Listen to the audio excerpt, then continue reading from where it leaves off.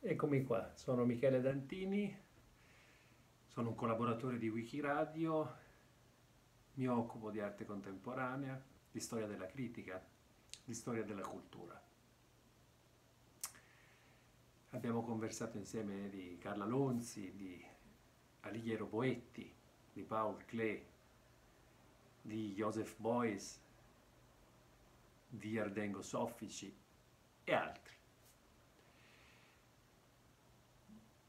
Trascorro qui a casa nel mio studio in modo relativamente confortevole e soprattutto rispettoso questo periodo di quarantena. Ho due piccole che mi preoccupo molto di motivare, avere due piccole, la prima di due anni e mezzo, la seconda di nove anni, senza più scuole, senza più routine, senza più babysitter, per mamma e papà è un po' complicato, soprattutto la piccola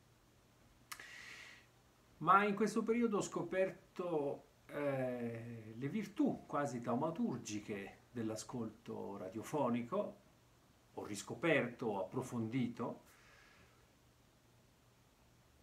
E anche facendo lezioni a distanza, insegno storia dell'arte contemporanea all'Università per stranieri di Perugia. E quindi anch'io sono tra i tanti che sono stati chiamati a fare didattica remoto, ho scoperto come eh, eh, l'esercizio radiofonico precedente mi ha aiutato molto in questa nuova dimensione di didattica eh, digitale.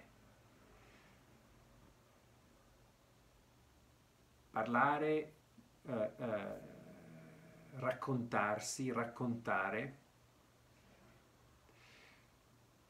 confidare nella voce, nella dimensione eh, quasi eh, di, eh, terapeutica, diciamo così, propizia alla concentrazione della voce, una voce che favorisce l'intimità, la, eh, confidare nella eh, magia, nella piccola magia quotidiana dell'ascolto. Ecco, tutto questo io lo, trovo, lo ritrovo oggi nella didattica a distanza, anche attraverso il ritorno, l'opinione di ritorno dei miei studenti che, hanno, che, apprezzano, che apprezzano questa nuova modalità di fare lezioni, di partecipare tutti insieme a seminari e lezioni e naturalmente eh, eh, eh questa piccola magia ha la sua eh, manifestazione quintessenziale nella voce.